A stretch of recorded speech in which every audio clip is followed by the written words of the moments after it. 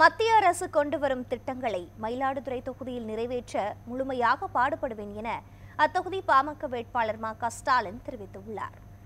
மயிலாடுதுறை நகர பாஜக சார்பில் பாமக வேட்பாளர் மா க ஸ்டாலினின் அறிமுக கூட்டமானது தனியார் திருமண மண்டபத்தில் நடைபெற்றது. இந்த கூட்டத்தில் தொண்டர்கள் மத்தியில் உரையாற்றிய மா க ஸ்டாலின் இந்தியா வளர்ச்சியடைய வேண்டுமானால் மீண்டும் நரேந்திர மோடிதான் பிரதமராக வேண்டும் என்று கூறினார். மேலும் கம்யூனிஸ்ட் குடும்பத்தை சேர்ந்த நான் மயிலாடுதுறை தொகுதியில் நிச்சயமாக வெற்றி பெறுவேன் என்றும் மத்திய அரசால் கொண்டுவரப்படும் அனைத்து திட்டங்களையும் முழுமையாக நிறைவேற்ற கடுமையாக உழைப்பேன் என்றும் கூறினார். தொடர்ந்து பேசிய அவர் மக்களுக்கு பிரச்சனை என்றால் போராடக்கூடிய வல்லமை பெற்றவர்களாக பாமகவினர் உள்ளதாகவும் கூறினார்.